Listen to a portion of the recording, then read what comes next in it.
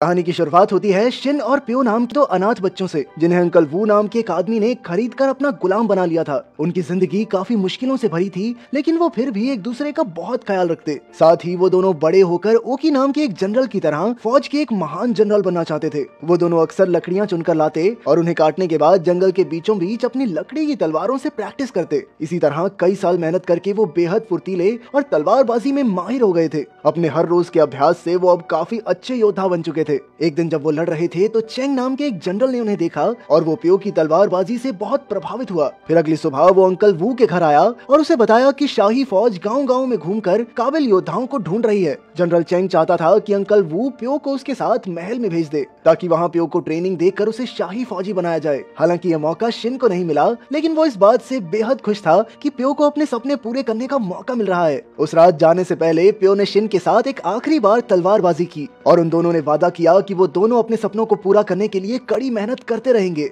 उस रात शिन ने ठान लिया कि वो भी कड़ी मेहनत करके प्यो के बराबर पहुंचेगा, ताकि वो भी एक महान जनरल बनने के अपने सपने को पूरा कर सके। आने वाले दिनों में शिन ने जंगलों में लगातार मेहनत करके अपनी तलवारबाजी में सुधार किया। आखिरकार उसकी मेहनत रंग लाई, क्योंकि अब वो अपनी तलवार से बड़े से बड़े पेड़ को भी आसानी से काट देता। कुछ दिन बाद जब वो अपनी झोपड़ी में आराम कर रहा था तो अचानक किसी ने ज़ोर से उसका दरवाज़ा खटखटाया। शिन ने दौड़कर देखा कि सामने प्यो खड़ा था। वो बेहद जख्मी हालत में जैसे तैसे उसके पास पहुँचा था। मरते मरते प्यो ने कहा कि उनके राज्य पर हमला हुआ है। राजा के छोटे भाई राजकुमार सेक्यो ने राजा को मरवाने के लिए अपने जासूस भेजे थे। इसी बीच शाही मंत्रियों ने प्यो को राजा का भेष बनाकर गद्दी पर बैठा दिया और दुश्मन राजा की जगह उस पर हमला कर भाग गए। मरने से पहले प्यो ने शिन को एक नक्शा दिया, जिसमें गाँव का पता था। प्यो ने शिन को इस गाँव में जाकर शाही फौज से मिलने को कहा, क्योंकि वो शिन को एक महान योद्धा बना सकते हैं। उस रात शिन बहुत तेज दौड़ा और प्यो के बताए गाँव के रास्ते पर चल पड़ा। रास्ते में कुछ गुंडों ने उसे घेर लिया, लेकिन शिन ने डटकर उनका सामना किया। अपनी सालों की कड़ी मेहनत से वो इतना ताकतवर हो गया था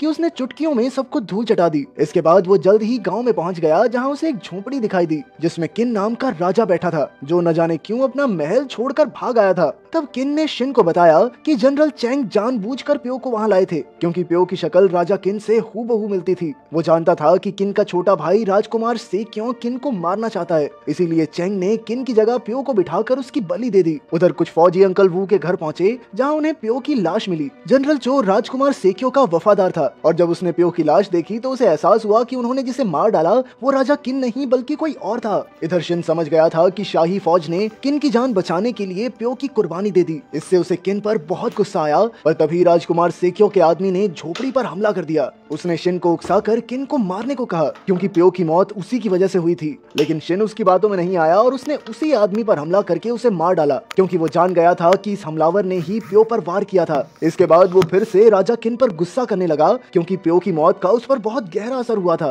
तब किन ने उसे समझाया कि प्यो ने सोचते समझते हुए पूरे राज्य को बचाने के लिए अपना बलिदान दिया है। किन का ज़िंदा रहना ज़रूरी था, क्योंकि अगर राजकुमार सिक्यों गद्दी पर बैठ गया तो पूरे राज्य को बर्बाद करके रख देगा। अब किन ने शिन को फौज में शामिल होकर सेक्यो का मुकाबला करने को कहा, ताकि उनके देश की रक्षा हो सके और प्यो का बलिदान यूँ ही बर्बाद न जाए। वहीं राजकुमार सेक्यो को जब खबर मिली कि किन ज़िंदा है तो वो गुस्से से भड़क उठा। अब उसने और जासूसों को भेजकर किन को मारने का हुक्म दिया। अगले दिन जब शिन और किन जंगल से जा रहे थे तो अचानक एक हत्यारे ने उस पर जहरीली सुई से हमला कर दिया। शिन ने तुरंत उसका मुकाबला किया और अपनी तलवार से उसका सर धड़ से अलग कर दिया। लेकिन उसके मरते ही शिन खुद भी बेहोश हो गया क्योंकि उसके शरीर में जहर फैल गया था। खुशकिस्मती से राजा किन ने उसे उठाया और अपने तंबू में ले आया। फिर उसने शिन को दवाई देकर कई दिन तक उसकी देखभाल की। एक दिन जब शिन की आँख खुली तो अचानक तंबू में कई फौजी आ घुसे। ये फौजी जनरल चेंग के थे जो राजा किन का वफादार था। अब जनरल चेंग ने राजा किन को अपने भाई से अपना राज्य वापस लेने की रणनीति समझाई। हालाँकि से क्यों किन को मारने में असफल रहा, लेकिन फिर भी उसने खुद को नया राजा घोषित कर दिया था। वहीं राजा किन चिंता में था क्योंकि उसकी फौज, सेक्यो की फौज के मुकाबले काफ़ी कम थी। तब एक जनरल ने उसे कुछ पहाड़ी कबीलों से मदद मांगने की सलाह दी। राजा किन राज़ी हो गया और अपनी फौज को लेकर पहाड़ों की तरफ़ निकल पड़ा।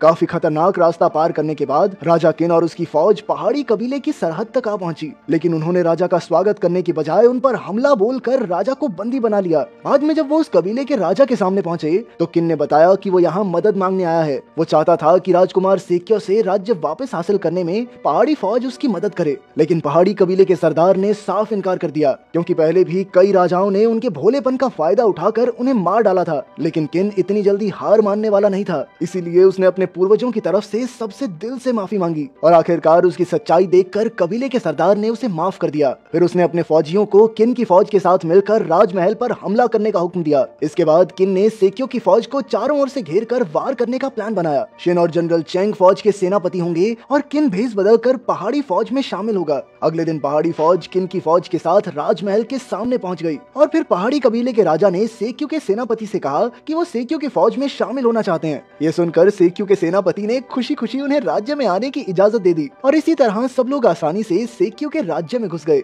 मौका पाते ही उन्होंने दरवाजे पर खड़े सैनिकों पर हमला बोल दिया। इसके बाद किन ने शिन को अपनी फौज लेकर खुफिया रास्ते की ओर जाने को कहा और इधर वो पहाड़ी राजा के साथ सेक्यू की फौज का मुकाबला करने लगा। जल्द ही पहाड़ी फौज और सेक्यू की फौज में घमासान युद्ध छिड़ गया। पहाड़ी फौजियों की फुर्ती और काबिलियत की मदद से राजा किन ने बड़ी आसानी से सेक्यू की काफ़ी सारी फौज को मार डाला। उधर शिन और उसकी फौज को खुफिया रास्ते में घुसने के लिए एक वैश्वी राक्षस का सामना करना पड़ा। हालाँकि राक्षस से लड़ना उनके लिए बेहद मुश्किल था, लेकिन अंत में शिन ने अपनी तलवार के जोरदार वार से राक्षस का खात्मा कर दिया। इसके बाद शिन और उसके फौजी खुफिया रास्ता पार करके राजमहल के शाही दरबार में पहुँच गए, मगर सेक्यू तो आराम से अपनी गद्दी पर आराम फरमा रहा था। फिर उसने अपनी फौज के सबसे ताकतवर जनरल चो को बुलाया। जनरल चो ने शिन को मुकाबले के लिए ललकारा और शिन ने भी बिना किसी झिझक के उसकी इस चुनौती को स्वीकार किया। जल्द ही मुकाबला शुरू हुआ और दोनों में कांटे की टक्कर होने लगी, क्योंकि वो दोनों ही कमाल के तलवारबाज थे। लेकिन शिन के जज्बे और जोश के सामने जनरल चो भी फीका पड़ गया, और आखिरकार शिन ने उसे बुरी तरह मात दी।